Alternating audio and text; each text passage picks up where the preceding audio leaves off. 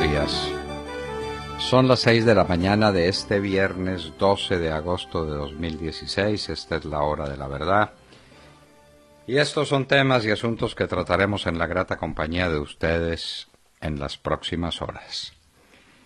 Se reunieron los dos grandes, Maduro y Juanpa, hágame el favor, para discutir el tema de la frontera y resolvieron abrirla paulatinamente. Quiero ver esa apertura paulatina cómo va a ser.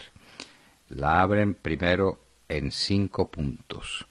Qué talento el de este par de estadistas. Todo el que se pueda venir de Venezuela se vendrá a buscar un plato de comida.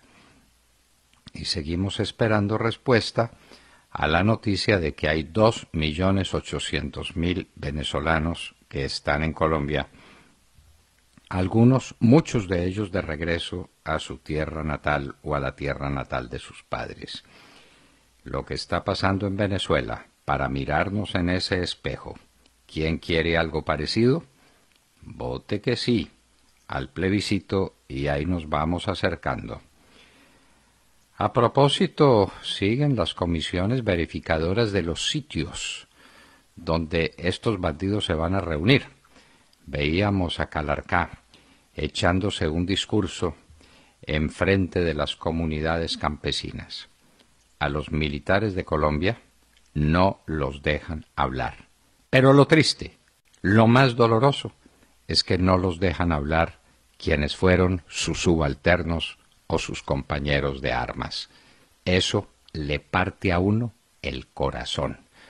Pero Ritualejo del Río, y Mejía Gutiérrez, el coronel Hernán Mejía Gutiérrez, no pueden hablar.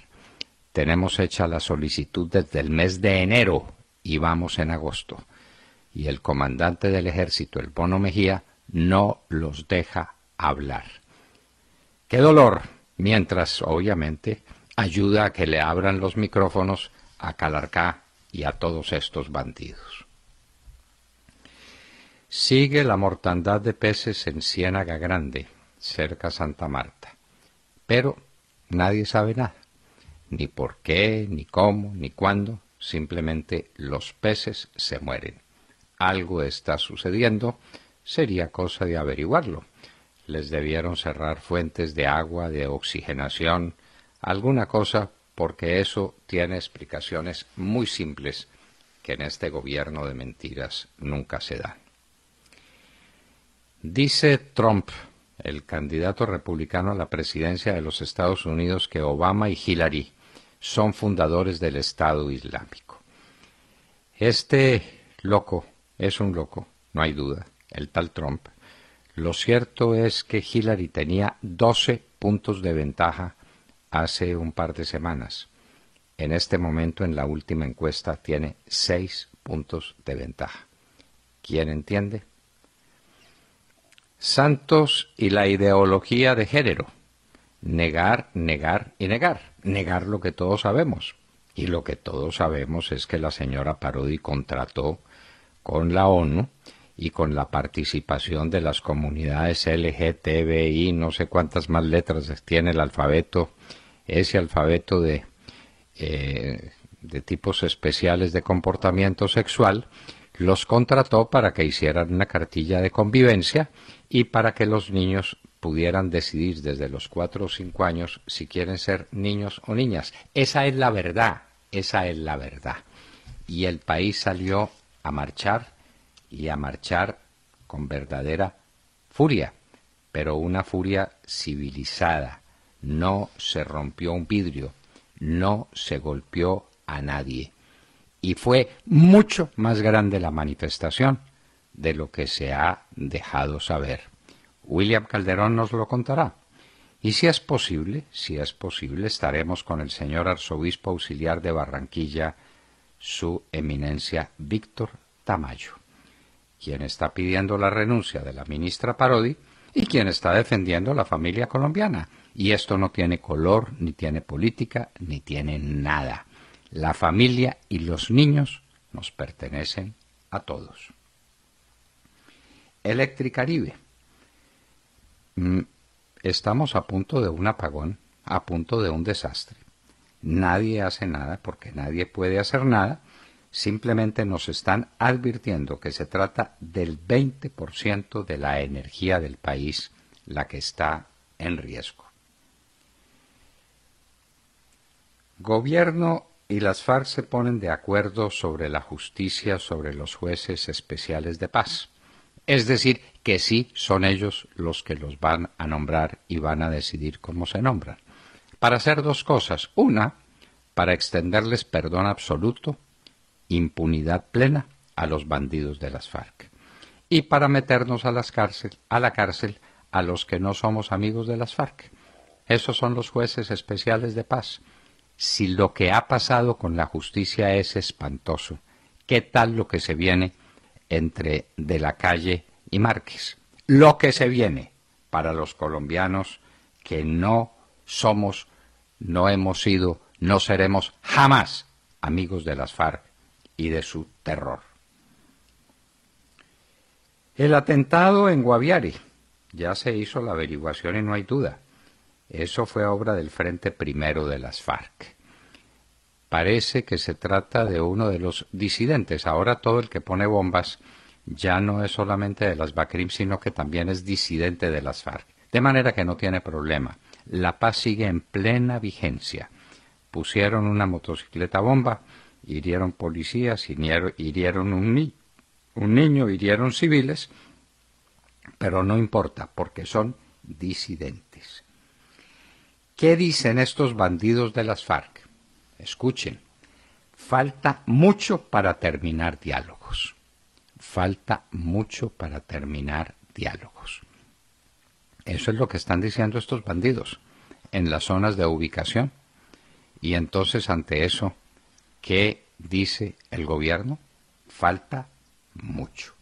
Y el gobierno ya ensilló y las bestias no han llegado.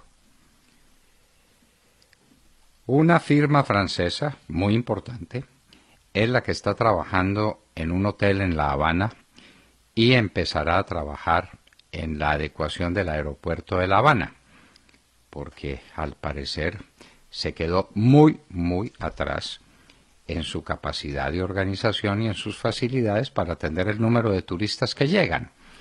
Eso, pues, es un hecho. La gente dice que se demora hasta tres horas en el aeropuerto de La Habana antes de que pueda salir con sus maletas. Tres horas. Imagínense ustedes lo que será aquello. Entonces contratan una firma francesa. Bueno, hasta ahí no hay nada especial. La mano de obra, oigan pues, en un país donde no hay trabajo, en un país donde a la gente le entregan una libreta de racionamiento para que medio coma, mientras se busca una manera, una solución para comer completo, por ejemplo, vendiéndole a sus hijas a los turistas. Mientras eso ocurre, los franceses importan mano de obra, ¿saben de dónde? De la India, de la India, para poder construir un aeropuerto en La Habana, Cuba. Eso sí, eso sí son hechos sorprendentes. La Corte Constitucional va a tener cinco relevos en seis meses. Esos cinco son la mayoría. Y con el eh, magistrado Linares que acaba de llegar, acaban de llegar unos magistrados muy nuevos, de manera que la Corte va a tener una renovación total. Y van a salir la doctora Calle y el doctor Palacio y el, el que estaba implicado también en lo de Fidupetrol y el señor Mendoza, van a salir todos los viejos magistrados de la Corte Constitucional que le han hecho tanto daño al país. Por su salida no derramaremos una lágrima. Nos preocupa quienes vengan, quienes vengan, por Dios. El general Henry William Torres a juicio por falsos positivos. Entonces, como siempre, testigos y eran campesinos como campesinos son todos los guerrilleros. Hasta ahí no cabe ninguna duda. Pero ¿eran o no eran guerrilleros? El general Henry William Torres, otro detenido y otro a juicio. Se sigue completando la baraja, mientras los de las FARC toman mojito, montan en catamarán y dictan sentencias desde La Habana, Cuba. Rusia y Ucrania, otra vez en alerta militar máxima. Se están mostrando los dientes otra vez el gobierno de Ucrania y el gobierno ruso. Terror en Tailandia, especialmente ahora en las zonas turísticas y contramilitares. Explosiones, muertos, heridos, pero dicen que no es terrorismo islámico. Reunión de la Andia en Cartagena. El gobierno le aseguró a los grandes contribuyentes, es decir, a los ricos y a las grandes empresas de este país, que no habrá modificación en su situación tributaria. La pregunta obvia es ¿a quién le cargan entonces la mano? Pues si no es a los ricos será a los pobres. Y si es a los pobres es obvio, aumento en el impuesto del IVA y gravamen con el IVA a productos que hoy están exentos. Para extender también el impuesto de renta hasta personas que ganen por encima de un millón y medio de pesos. Hágame usted el favor. ¿Cómo se infiltró la campaña de Oscar Iván Zuluaga? Ya empieza a conocerse la verdad. Lo que hizo el fiscal Montealegre, desde luego, en plena cooperación con Juan Manuel Santos. Lo que pasó en la campaña de Oscar Iván Zuluaga. En Ottawa, Canadá, un intento terrorista de ISIS termina en que el terrorista fue dado de baja y que le causó algunos daños, parece que menores, al conductor del taxi que lo llevaba a su destino. Mir, noticias sorprendentes. Hay un tigre de Bengala suelto en Campeche, México. Parece que es un tigre que se escapó de un restaurante, de un circo, hace tiempos en la zona de Acapulco y ahora anda en Campeche, nueve meses después. ¿Habrá comido bien el tigre? La OEA pide a Venezuela que acepte revocatorio. Venezuela insiste en que revocatorio no habrá este año, que todo queda para el año entrante, cuando ya Maduro será sustituido por el vicepresidente, es decir, por quien él indique con una señal de dedo. Y el Papa Francisco invita a su mesa a refugiados sirios para insistir en que está con ellos, en que no los pueden abandonar. ¿Por qué no invita su santidad reverendísima a refugiados cubanos? ¿Por qué no los invita? ¿Por qué será solamente a los sirios? Papa Francisco, con toda la devoción y el amor de un fiel católico, le hacemos saber, o de unos fieles católicos, le hacemos saber que estamos esperando su palabra sobre los refugiados cubanos. Refugiados son refugiados. ¿Por qué solamente los sirios, su santidad? ¿Por qué no los cubanos? ¿Por qué no los cubanos que el gobierno de Juan Manuel Santos y su canciller lanzaron a la muerte por el tapón del Darién? Para ellos no, para ellos no hay un espacio en su mesa. Y en hoy en la historia, año 490 antes de Cristo, diez años antes de las Termópilas se libró la batalla de Maratón. La recordaremos precisamente porque estamos en Juegos Olímpicos y vendrá pronto la maratón en Río de Janeiro. De todo esto y de mucho más hablaremos con ustedes en las próximas horas en la hora de la verdad días, doctor Fernando, eh, compañeros de la mesa y a nuestros oyentes. Excelente canción para empezar este viernes. Y la noticia con la que saludamos la mañana tiene que ver con la reapertura controlada y gradual de la frontera entre Colombia y Venezuela. Ayer los presidentes Juan Manuel Santos y Nicolás Maduro por fin se reunieron en la ciudad venezolana de Puerto Ordaz y acordaron que a partir de este sábado 13 de agosto se habilitarán cinco puntos fronterizos el puente Simón Bolívar, que comunica Cúcuta con San Antonio del Táchira, el puente Unión en Puerto Santander, el puente José Antonio Páez en Arauca, Paraguachón en La Guajira y Puerto Carreño en Bichada. En días posteriores se habilitará el paso por el puente Francisco de Paula Santander entre Cúcuta y Ureña. La apertura será, en principio, solo para peatones. entre las 5 de la mañana y 8 de la noche en hora colombiana y de 6 de la mañana a 9 de la noche hora venezolana. El presidente Santos propuso hacer cierres nocturnos para supuestamente mayor seguridad. Por el momento será suficiente presentar el pasaporte para poder pasar de un lado a otro. Sin embargo, recordemos que la semana pasada en la reunión de cancilleres de las cancilleres Delcy Rodríguez y María Ángela Holguín se habló de una cédula fronteriza, idea de la canciller Holguín, y según declaraciones del director de Migración Colombia, Christian Kruger, este documento se llamará Tarjeta Binacional Migratoria y se aplicará en una jurisdicción establecida. Sin embargo, esto todavía no está eh, totalmente acordado. Por eso, eh, con el pasaporte será suficiente circular. Vale recordar que la frontera fue cerrada por mandato del presidente Nicolás Maduro el pasado 22 de agosto del 2015, hace casi un año ya. Pero, ¿qué se logró realmente? Según el, gobierno venezolano, el contrabando de alimentos cayó en un 60% y el de combustibles en un 80%. Habrá que ver de dónde sacaron las cifras, doctor Fernando. Pero lo cierto es que la situación de Venezuela está peor que desde que se cerró la frontera y además el 70% de los comercios eh, de esta zona se quebraron. Finalmente, los presidentes también acordaron que el próximo 23 de agosto también discutirán sobre el comercio de la gasolina y es posible que se instalen en Colombia estaciones de servicio de PDVSA para abaratar, el costo de la gasolina. Bueno, gasolina barata. Magnífico que nos traigan gasolina bien barata. El pueblo venezolano paga la diferencia. ¿Y mm, qué más? Pues que esa apertura paulatina no va a ser una apertura paulatina, eso va a ser un éxodo masivo de gente desesperada que quiere venir a comprar cualquier cosa. Lo que le vendan en Cúcuta, esperamos que Cúcuta esté bien abastecida, porque le va a llegar un número enorme de venezolanos necesitados de comprar cualquier cosa porque en Venezuela cualquier cosa hace falta.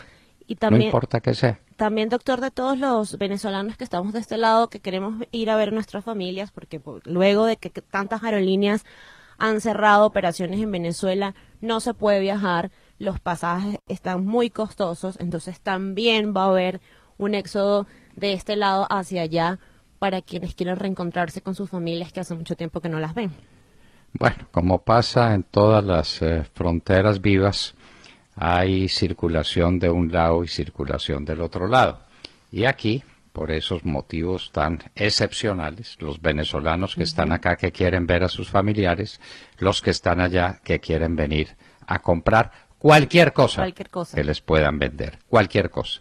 Y lo mismo será en Arauca, y lo mismo será en eh, pues son cinco puntos de frontera prácticamente todos prácticamente todos vamos a ver cómo funciona esto y cómo será aquel aquel aluvión de gente de Venezuela que quiere venir a Cúcuta a toda la frontera a tratar de comprar cualquier cosa que sea William Calderón. Doctor Londoño, buenos días, buenos días Colombia, gracias por invitarnos a sus hogares y a sus vehículos.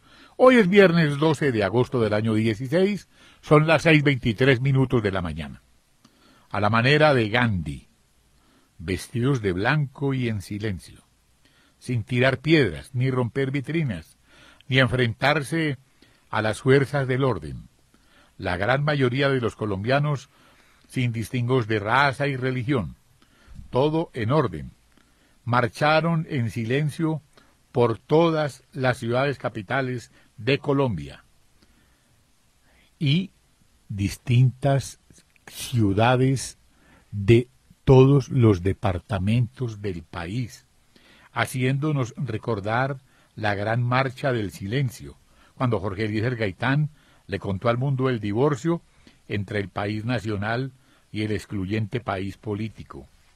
Gaitán posteriormente fue asesinado por Fidel Castro, el nuevo mejor amigo del sátrapa bolivariano que rige los destinos de Colombia.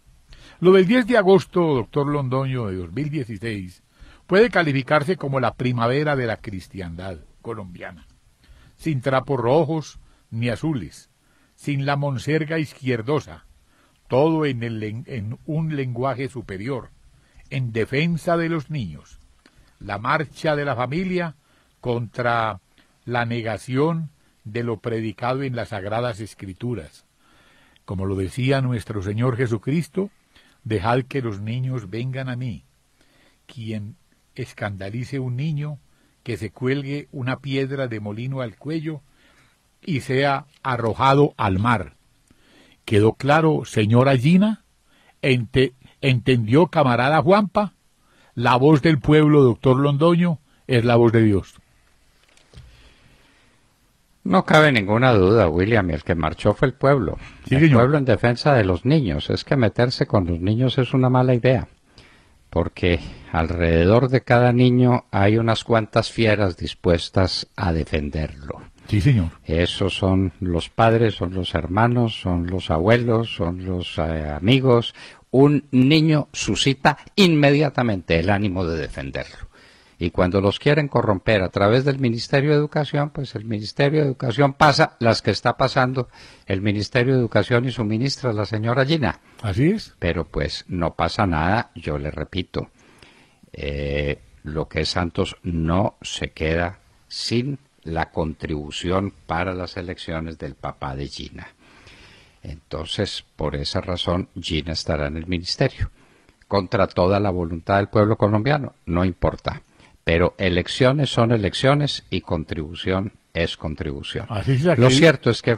Así se sacrifiquen los niños. no, obviamente, obviamente tuvo que parar. Claro. Obviamente tuvo, tuvo que parar. Paró ella y paró Santos y pararon todos y, y ya están como más cuidadosos.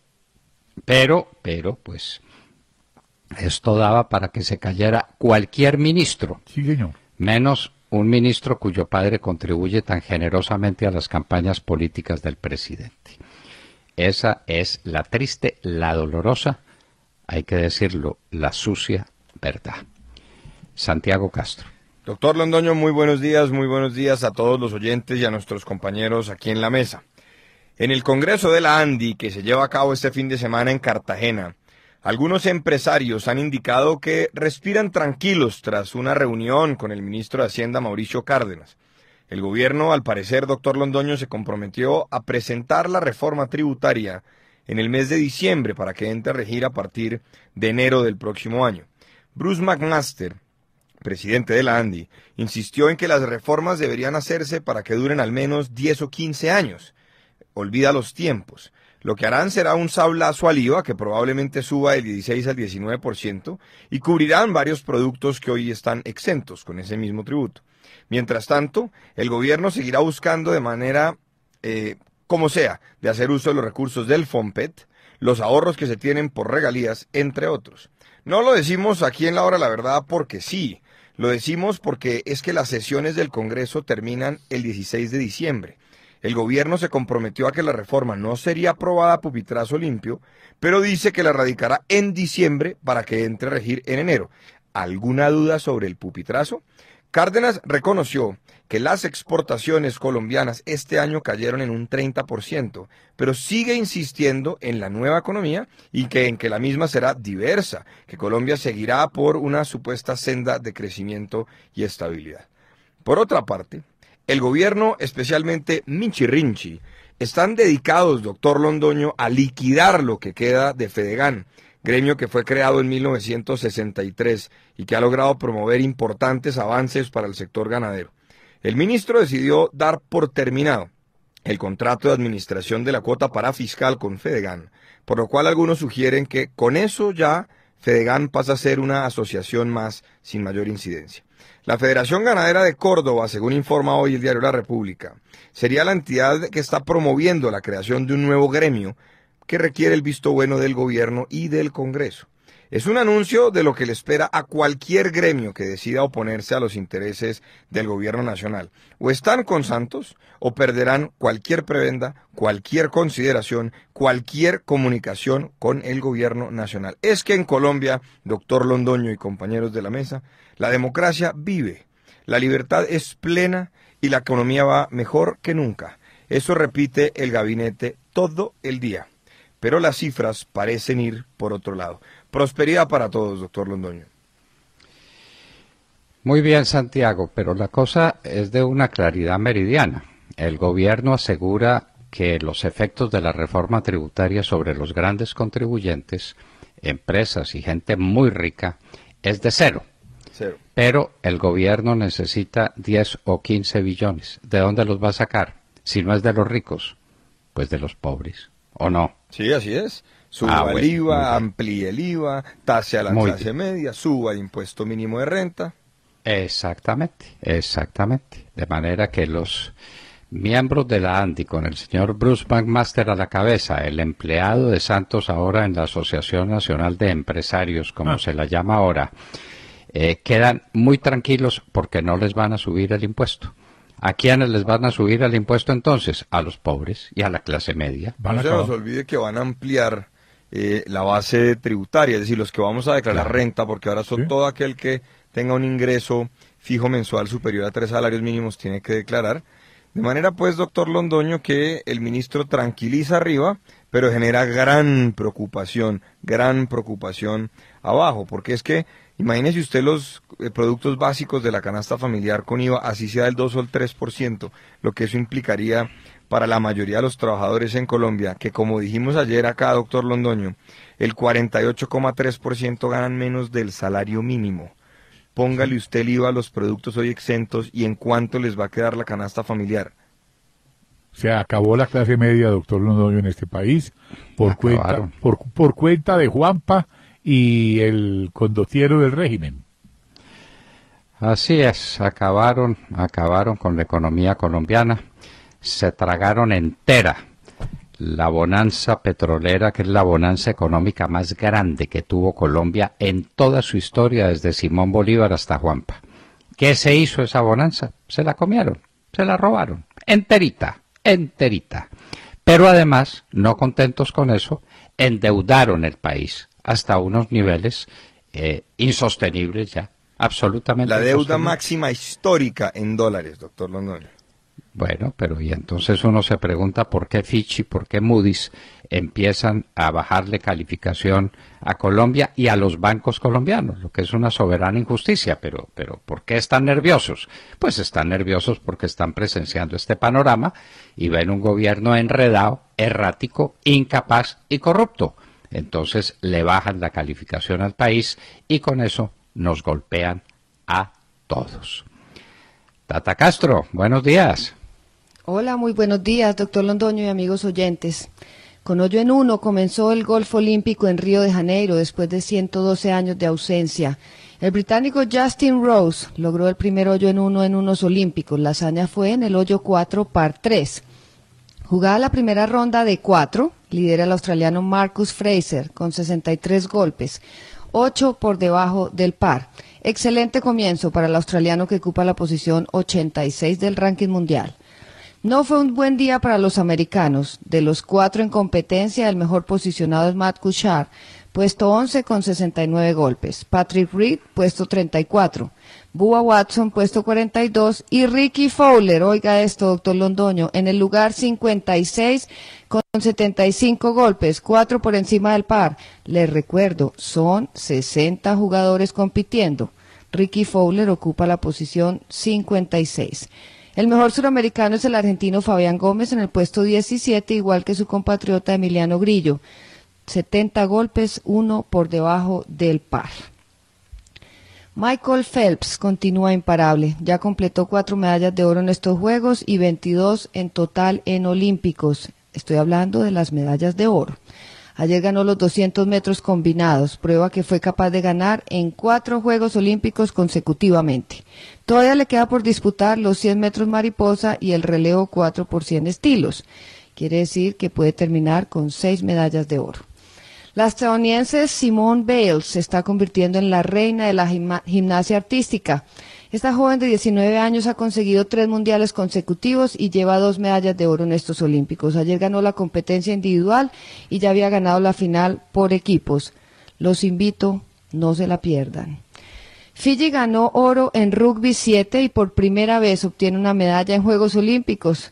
Venció a Gran Bretaña y logra en este deporte conseguir la primera medalla en la historia para su país. Datos históricos en estos Juegos Olímpicos de Río de Janeiro. ¿Qué tenemos hoy para Colombia? El boxeador Juvergen Martínez compite en semifinal a las 10 de la mañana. se enfrenta al cubano Joanny Argilagos para pasar a luchar por la medalla de oro en la categoría 49 kilogramos. Les recuerdo, 10 de la mañana. Comenzó ayer el ciclismo de pista. Hoy los colombianos Santiago Ramírez y Fabián Puerta en la clasificación de la velocidad masculina a las 2 y 15 de la tarde. Una de las esperanzas más grandes que tiene Colombia en este deporte es con Fernando Gaviria. Comienza el domingo en el Omnium, correrá las tres primeras pruebas de esta categoría. Y el lunes terminaría el Omnium y ahí sabremos si Fernando Gaviria es medalla de oro. Hoy comienza el atletismo en Río de Janeiro. Catherine Ibarwen comienza mañana su camino para obtener la medalla de oro en salto triple. Será en la mañana y si avanza, la final será el domingo a las seis y veinte de la tarde. Sé que es un fin de semana largo, con lunes festivo, pero por favor separen esa hora. Domingo seis y veinte de la tarde comienza Catherine Ibarwen la final del salto triple, porque estoy segura que va a llegar a la final. Hay otra, eh, quiero hacer un paréntesis acá, doctor Londoño, porque usted me ha hablado mucho de ella. Es una nadadora estadounidense que tampoco pasa desapercibida en estos juegos. Estoy hablando de Katie Ledecky, es la reina de la natación en el estilo libre. Ya ganó tres medallas de oro en los 200 metros estilo libre, 400 metros estilo libre y relevo 4 por 200 estilo libre. Impresionante esta nadadora estadounidense. Y ya está en la final de los está en la final de los 800 eh, Sí, sí, ahí le estoy quiere decir que todavía puede ganar la cuarta. Claro que sí, está lista para y los 800 son su gran especialidad. Bueno, la reina del estilo libre. Sí. 19 años tiene, 19, años tiene la niñita. Sí, impresionante. Igual que la, la gimnasta artística que estábamos hablando, tiene 19 años también, muy jóvenes comienzan esta, la carrera, estas deportistas. Hoy a las 12 y 30 también tenemos que ver los 20 kilómetros marcha con Eider Arevalo, Luis Fernando López y Esteban Soto. Esos son los colombianos que están en acción hoy y los que tenemos mucha esperanza para Colombia el fin de semana. Como les decía, Fernando Gaviria en, en ciclismo de pista y Catherine Ibarwin en el salto triple. Bueno, estos son los ecos de eh, los Juegos Olímpicos de Río, un bello espectáculo que habla de la fraternidad universal de los pueblos. El deporte une, el deporte enseña, el deporte es un elemento fundamental en la vida social. Aquí lo hemos entendido poco y teníamos un excelente director de Coldeportes y lo echamos al doctor Botero porque había que nombrar una amiga, una amiga de Roy Barreras. Eh, eh, así, así se maneja Colombia y así se maneja el deporte y así estamos y así estaremos porque hay que nombrar no a los mejores y mantener no a los mejores. Hay que nombrar a los amigos y a las amigas del señor Roy Barreras para que invite a la gobernadora del Valle el para que se vaya. Eh, eh, eh, las, medallas de oro para los deportistas y la plata para Roy Barreras. La plata toda. Claro, el oro para unos y la plata para otros. Bueno, William, ¿y, ¿y qué se supo de la gobernadora del Valle? ¿Le sigue haciendo barra a Colombia para, para llenar de fe y de... Yo no sé si hay mejores informaciones, pero eh, dice que tiene un carnet que no es el de ella. Eso dicen las dos orillas, salvo mejor opinión. Yo le tengo un chiste sobre la gobernadora, usted verá si se lo cuento. Pero claro, claro, Tata, adelante. El levantador de pesas Oscar Figueroa se llevó el oro y la gobernadora Dilian Francisca la plata. sí, sí, sí. Sí, ese es el chiste. Ese es el chiste que no está mal. Yo creo que si no hubiera ido, ido Dylan Francisca no tendríamos medalla, doctor Londoño. Ese apoyo moral fue, fue clave para nuestros deportistas, William. Yo creo que tienen que llevarla siempre. Pero que hubo, que hubo que bullying. Pero si en las barras solamente estaba ella con, eh, con eh, Tragaluz eh, y la familia de la gobernadora y, y pare de contar. Esto ha sido lamentable, porque hubo, no hubo plata para ciclistas que se han quejado, no hubo plata para determinados deportistas que se han, que se han notado obviamente eh, sus, en, sus, en sus actuaciones porque los dejaron, los dejaron eh, defendiéndose solos, como se lo dijo el mismo, el mismo señor eh, que se ganó la, la, la, medalla de oro al presidente Santos. No, usted aquí me engañó, usted me ofreció hace cuatro años eh, un coliseo para el Valle y no lo han empezado. Así es, William. Claro. Pero sabe, William, que es mejor que no lo empiecen. Claro. Claro, porque mire usted cómo dejaron a Ibagué. Empezaron las obras para los, eh, para los Juegos Nacionales y entonces dejaron los mamotretos, los huecos de los cimientos y no siguieron. Es mejor que no hagan el daño, pues no lo empiecen. Exactamente. Por eso todos, los, todos los años recordaremos los Juegos Panamericanos de Cali, que se nos quedaron grabados, doctor Londoño, a usted, a mí y a toda la gente de, la, de, de, de esa generación porque son inolvidables los juegos y, los que hizo y los que hicieron en Cartagena con el con el almirante Arango Bachi. De resto pare de contar. En Cali tendremos que recordar a Jorge Herrera Barona. Sí, señor. Grande entre los grandes, un hombre magnánimo, podía estar en cualquier orilla política que fuera, pero un hombre limpio, un hombre claro, un hombre excepcional. Con mi queridísimo primo el mono Botero hicieron una llave magnífica para hacer los Juegos de Cali, que no olvidaremos. Y los Juegos de Cartagena se le deben al almirante Arango. ¡Exacto! Una, una razón más para meterlo a la cárcel. Ah, pues claro. sí. Eh, para que le, para que eh, el, el, señor Echandía y compañía limitada le inventaran una huella. A ver, María y no pasó nada. A los que inventaron la huella, no les pasó nada. Arango Bachi estuvo en la cárcel un tiempo larguísimo, hasta que no, no tuvieron más remedio que dejarlo en libertad. El mismo Echandía que hoy denuncia, que denuncian las dos orillas como, como quien forma parte del complot para robarse las elecciones al doctor Oscar Iván Zuluaga, porque esto es, esto es así de clarito, doctor Londoño, estamos en la hora de la verdad y, y no tenemos pelos en la lengua para decirlo. Bueno, de todos esos asuntos y de algunas noticias internacionales muy importantes, estaremos hablando en la hora de la verdad en un minuto. Parece que es difícil encontrar al señor gobernador de Nariño, el doctor Camilo Romero, para que nos hable de las zonas de concentración en Policarpa y Tumaco. En un minuto seguiremos.